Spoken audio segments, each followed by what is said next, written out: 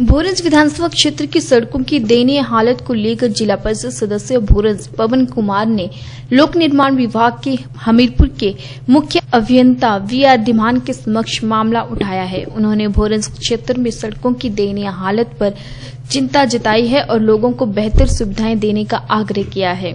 पवन कुमार ने ताल से बुआना सिद्धपुर भोटा सड़क की टाइलिंग करने की मांग की है। उन्होंने ताल से बाया अमनेड़ अम्मन सड़क की टायरिंग शीघ्र करने पर भी विचार विमर्श किया और कहा कि इन सड़कों की हालत बहुत खराब हो गई है। उन्होंने डिडमी टिक्कर से बाया तालमहल सड़क, जो कि भोरंस की ओर जाती है, पर पैच वर्क करने को कहा। पवन कुमार ने ताल बाज़ार के पास 500 मीटर सड़क के हिस्से में पानी निकासी का मामला उठाया और कहा कि इस सड़क की दयनीय हालत को शीघ्र सुधारा जाए। इस दौरान लोक निर्माण विभाग हमीरपुर के मुख्य अभियंता वी आर धीमान ने कहा कि नेशनल हाईवे डिडमी टिक्कर बायाताल बस्ती को जाने वाली सड़क की डीपीआर बनकर तैयार हो गई है तथा इसे कार्यवाही के लिए भेज दिया गया है। उन्होंने जिला परिषद सदस्य भोरंस पवन कुमार को भरोसा दिलाया है कि भोरंस क्षेत्र की सड़कों की हालत शीघ्र सुधारी जाएगी। मार्च से पहले हर कार्य को चुस्त दुरुस्त तरीके से किया जाएगा। मेरी चीफ से बात हुई है PW chief G B R से तो उनका रवैया बहुत ही बढ़िया है। मेरे जो जिला परिषद वार्ड है, उसके अंतर्गत डिडमी टिक्कर से लेके बया ताल महल और बस्सी की ओर जो रोड जाता है, वो खड्डों में पूर्ण रूप से तब्दील हो गया है।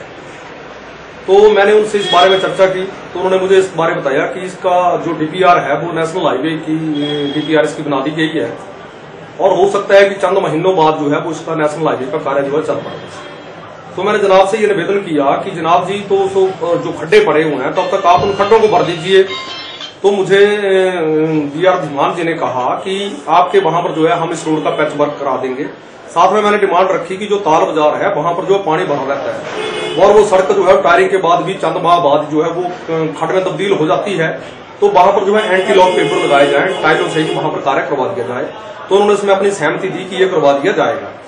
साथ में हमारा वहाँ से ताल से लेके बाया भुमाड़ा सिद्धपुर जो रोड है, जो बोटा में निकलता है, उसका भी उन्होंने जो है हमें आश्वासन दिया कि शीघ्र इसमें जो टायरिंग करवा दी जाएगी।